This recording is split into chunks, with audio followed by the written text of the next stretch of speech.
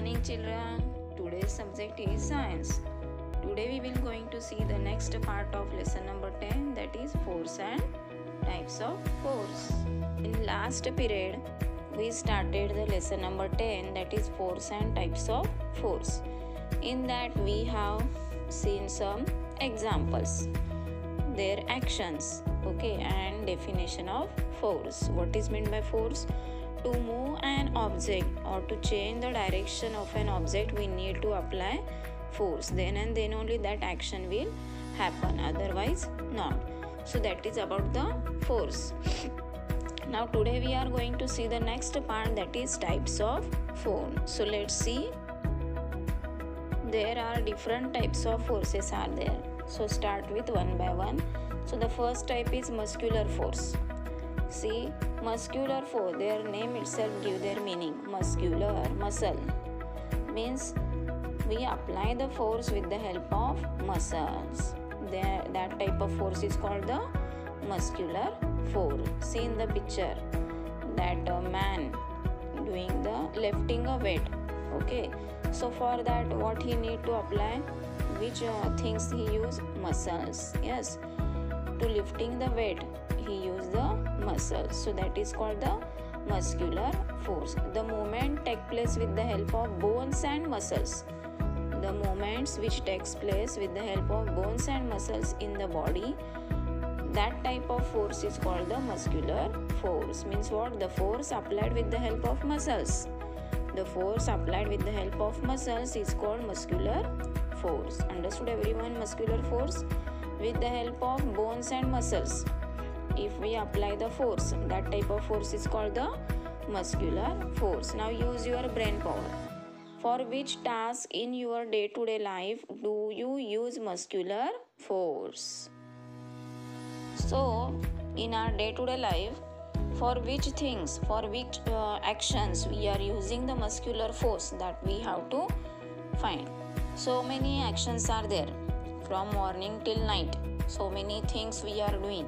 So many work we are doing. For each and everything we need the muscular force for example as you are playing uh, playing on the ground.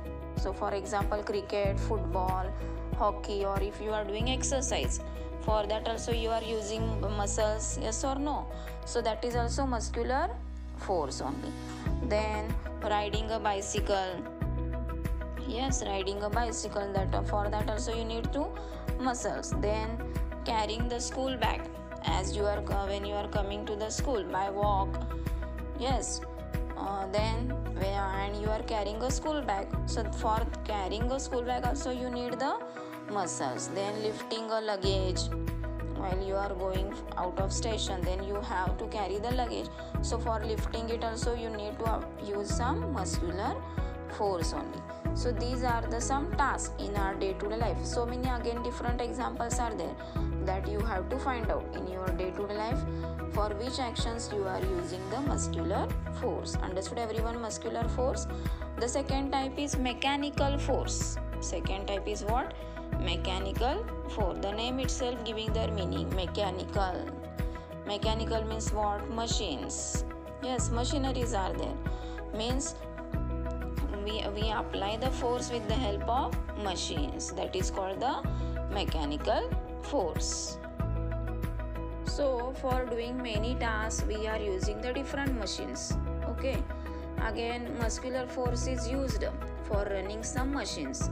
But some machines can run by using electricity or fuel. Okay. Or automatically it run by using the electricity or fuel. So that is a machines only then again some example that is sewing machine. Everyone observed that sewing machine to stitch the cloth. Then electric pump is there. Washing machine is there. Mixer is there. So these are the so many different machines are there which are used for doing many tasks. So these are called the mechanical force. By using machines they apply the force is applied by means of machines. When we when we switch on on that knob of the mixer then and then only it start. Yes whatever maybe the things we are using it get grinds. Okay? So means what? The force applied by means of machine is called the mechanical force. Understood everyone? The second type is mechanical force. The name itself giving their meaning. The force is applied by means of machines. Okay? That is called the mechanical force the third type is a gravitational force. The third type is gravitational force. See here one picture shown. See the third type of force is what? Gravitational force. See here one picture is shown. That boy throwing a ball. Again that uh, one tree is there. So that from that tree the fruit falling down. Okay see if an object is thrown upward by applying force for example that ball throwing upward by applying force it reaches a certain height and again comes down. Yes that ball again comes down. So why is this so? So why this ball falls down only? Why it not go in the sky?